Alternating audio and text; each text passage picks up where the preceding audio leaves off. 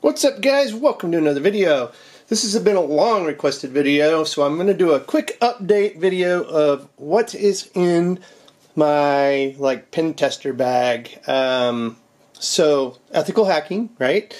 Uh, so what you've got here on the table, I, I, worked this two different ways. One was like to bring it all out and then try to record it versus just have it all out and then go over it. And I think this will work best. Spilling the bag on the table or letting the cat out of the bag, as you want to say, and then just go over what each thing is versus trying to bring it in and out of the bag. Um, so I laid it all out, and what we're going to do is go from left to right as best we can and try to cover at least the highlights um, of what everything is here.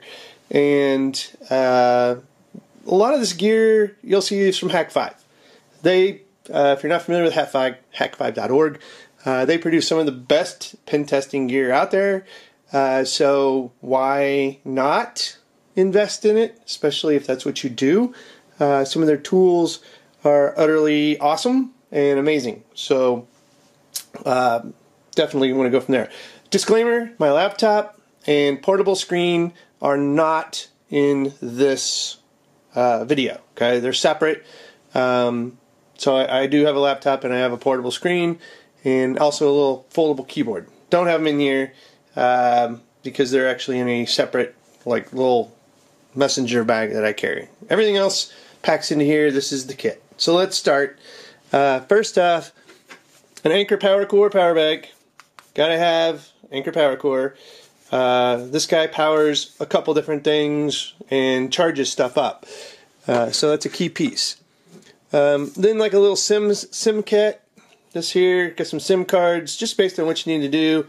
Um, you know, this is good to have. It's got some uh, uh, all different types of adapters and SIM cards and stuff in it. So um, when you're working with some mobile stuff, um, that's always a good little tool to have.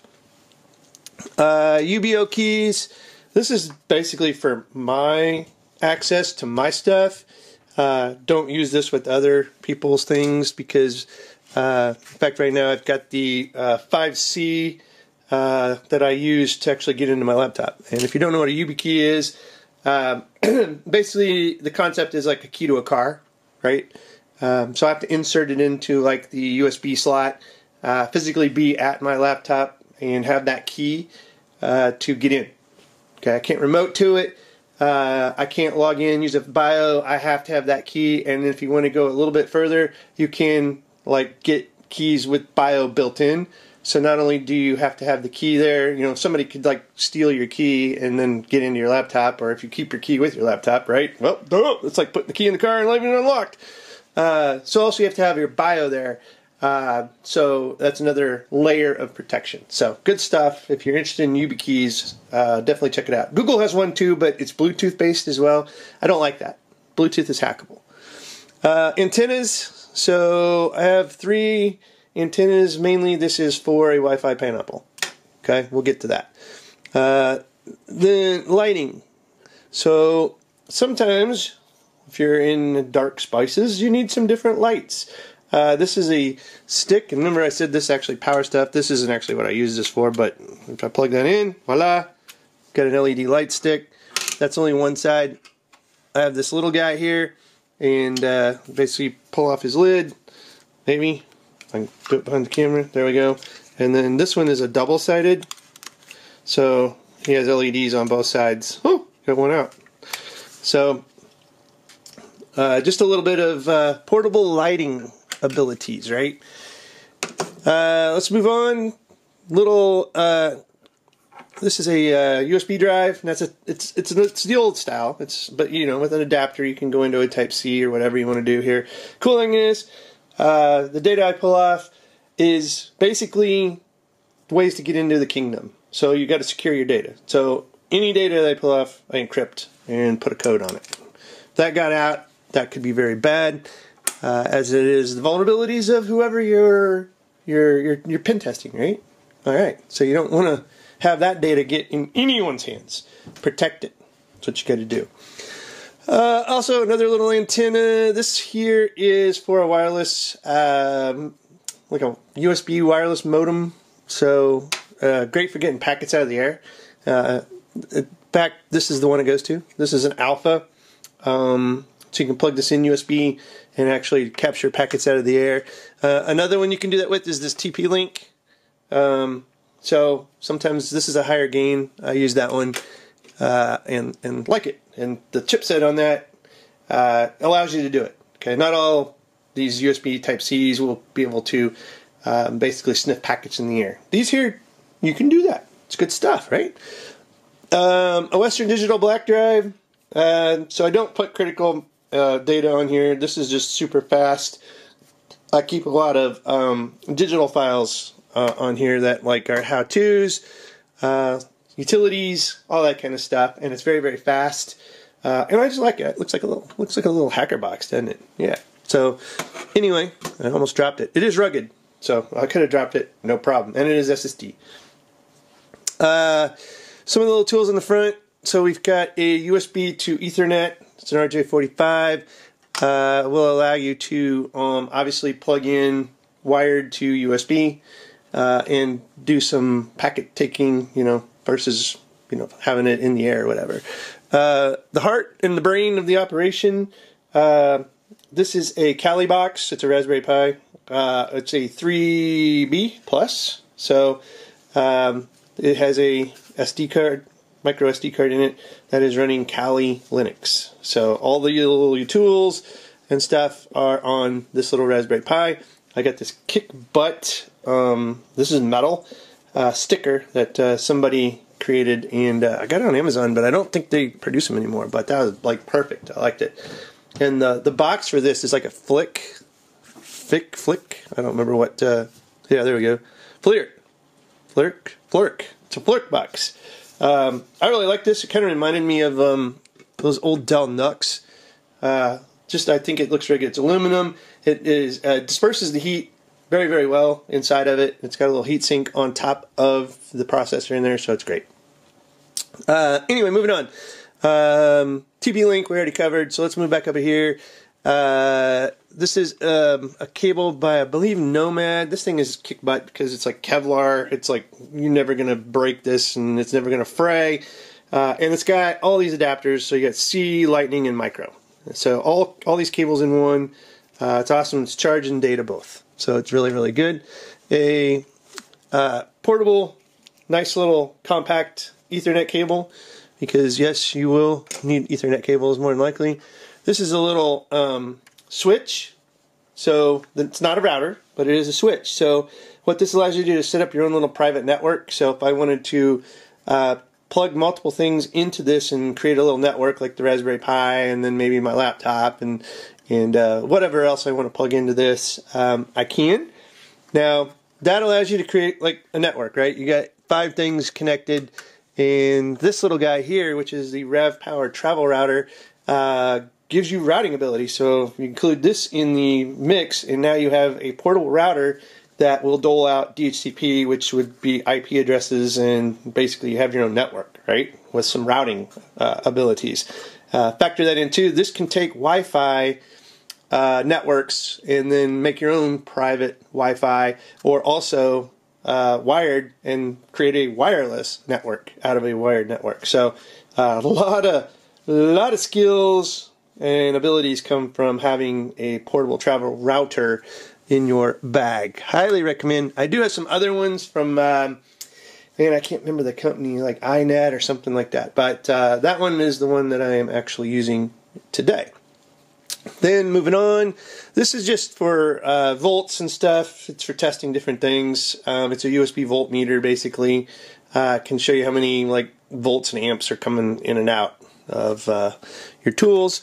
Um, very handy because sometimes you got to use like two different uh, ports. So you got something that needs a little extra juice. I have some cables that allow me to uh, get two ports in use into one. So, you know, if there's not like one amp, one amp or something in a USB, I use both of those into one and I get a two amp output. Um, just, you know, you never know. So that, that helps you gauge like, oh, I'm not having enough amps to support what I need on this, this device. So, uh, a good example is a uh, Raspberry Pi, or for Raspberry Pi. That, yeah, that's good, or a Wi-Fi Pineapple. Too many fruits here.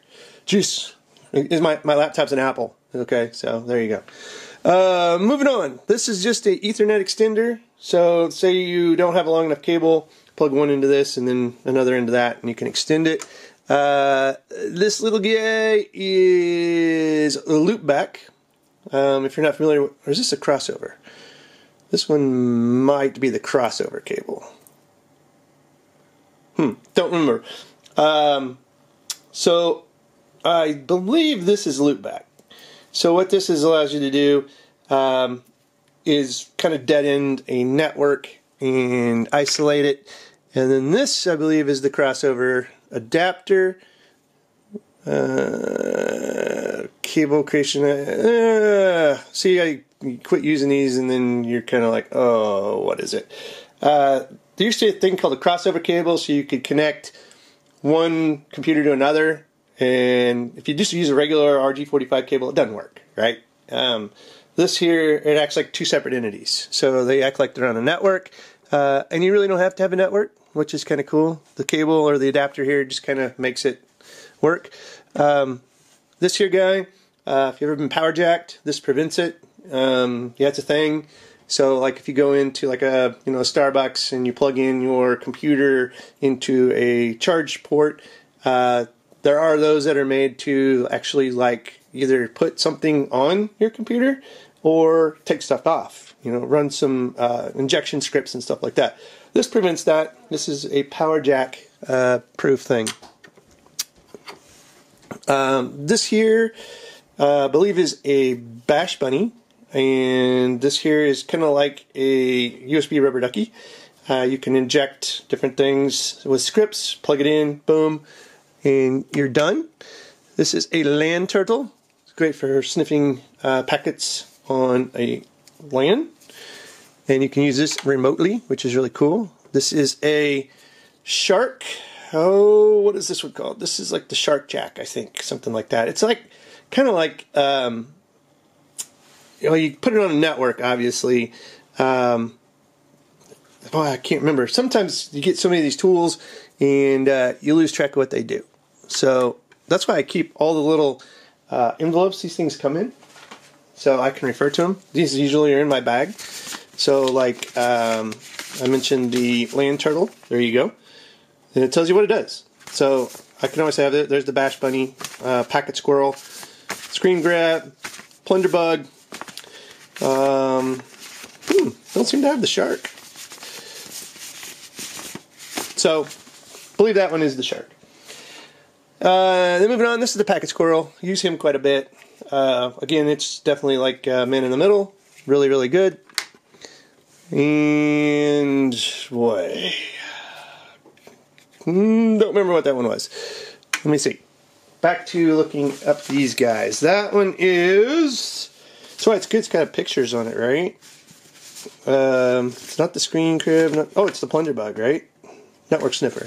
So that one there's like Plunderbug, and then this is another power bank. Now the thing I like about that is uh, one I can plug it in and charge, and then I've got C and Lightning. Um, so just another nice little power bank to utilize uh, when out and about and actually charging stuff. This here is a Wi-Fi Pineapple. All three of those antennas click on this guy here. And this here allows you to intercept and impersonate different Wi-Fi networks. So uh, if somebody is used to getting on Wi-Fi networks, you can you can basically impersonate that Wi-Fi network, have them connect to you, and then you can actually run even like spoofed uh, websites and stuff like that.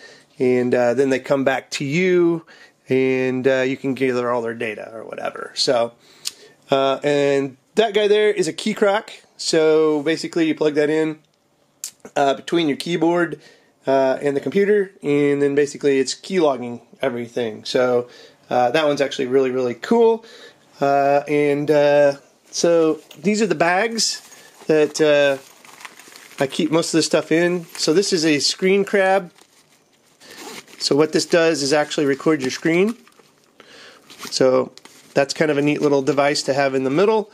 Um, and then got some like cables and adapters and crap. And then again to keep all these little cards because, like I said, I have a hard time remembering sometimes what all these little tools do. Uh, this is where I keep some cables, but most time all this gear is in here and very well organized. And then this little guy right here is actually a Wi-Fi pineapple. Sometimes you need multiple Wi-Fi pineapples. This is the Nano. Um, and, uh, oh wow, look, here's my rubber ducky. So, the USB rubber ducky uh, is basically, you know, if you were like to uh, put a payload on this and plug it in, and it, it executes when you plug it in. So, it's a way to get like stuff onto a computer real quick and, and uh, the person doesn't know, right? Uh, let's see. Also, I've replaced a couple of these because these went really, really, um, got really trashed up. But I've got the red team field manual and the blue team field manual in my bag. Uh, and so, really, this here is instead of like having to Google stuff, you can just go through this and just look up commands and things. It's a great, great shortcut. Uh, if you don't familiar with red team, they're like the attackers and these are the defenders. So, um, you know, capture the flag, uh, well, you know, defense, offense, right?